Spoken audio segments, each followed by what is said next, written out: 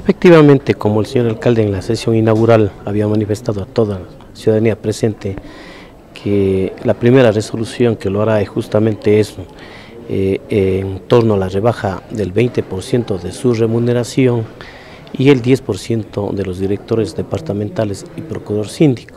Evidentemente es una resolución netamente administrativa eh, que tiene que poner a conocimiento del Consejo Catalán, como sucedió hoy en la sesión extraordinaria de Consejo.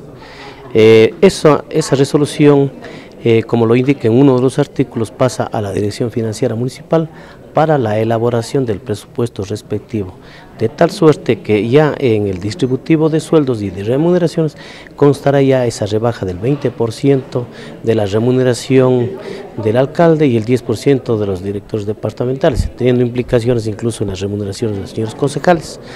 Eh, luego de eso vendrá ya la aprobación de la ordenanza de presupuesto, ¿no es cierto?, que tendríamos que hacerlo dentro de los 30 días, pero evidentemente ya constarían estos datos proporcionados en esta resolución.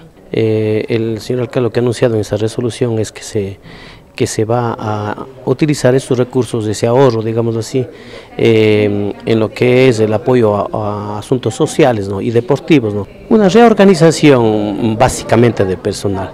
Todo el personal, o sea, en lo que respecta a recursos prácticamente son reemplazados. Unos están trabajando de una manera eh, con servicios profesionales, otros están trabajando con, de, acuerdo a la, en cada uno de los departamentos. ¿no? Lo que se hace es como una pequeña reorganización del personal. Entonces, del tal suerte de que nos permita dar un mejor servicio a la ciudadanía. Lo que manifestaba el señor alcalde en, el tema de la atención al público, tener ya una organización de los trámites, enumerar los trámites y dar una respuesta inmediata al, procedimiento, cómo está el estado del trámite que necesita la persona que solicite ese servicio, ¿no es cierto? Eh, por otro lado, justamente tratando de, eh, de darle mayor eficiencia a la a, la atención a la gente, a la administración misma, ¿no? Por ejemplo, la atención que tienen tener los señores concejales, eh, se ha creado una persona que esté estrictamente responsable de todo ese archivo, de todas las comunicaciones, todo lo que tenga que ver con, con las sesiones, eh, eh, con las mm, comisiones, perdón, que tienen que, que, que, estar guiadas, digamos, responsabilizadas por un, por un profesional, sería en este caso, ¿no? creo que son dos o tres, no son más, ¿no?